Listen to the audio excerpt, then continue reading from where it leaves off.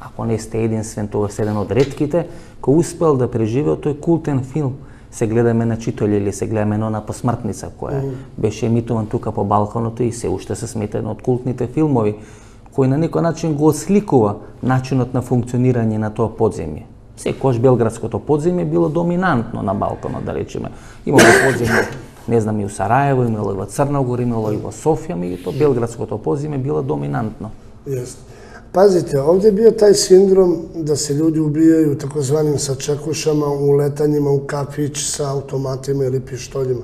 Тоа и данас то. Мене увек питају после сваког убиства дали су се 90-те вратиле. Тоа у Србији било 80-тих, 90-тих, 2000-те и данас постоje. Значи, не причам. Вие ги избегнувате сите тие сачекуши. Да. Иако, иако се приметува да речеме по рацете, траги, да, да, вие сте рануван, имате по нозете рани. Така значи, е. Сте учесувале во, во многу брутални пресметки, меѓутоа сте останале жив.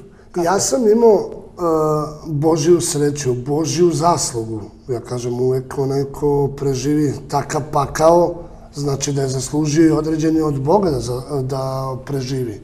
Значи, ја могу да се захвалим и судбини, а и своју интуицiju неким vitalnim sukobima gde sam ja povukao korak nazad ili u stranu ili otputovo ili procenio situaciju da ne bi trebalo da se presira, našao način da se izmirim s ljudima, da izgladimo odnose preko drugih ili direktno.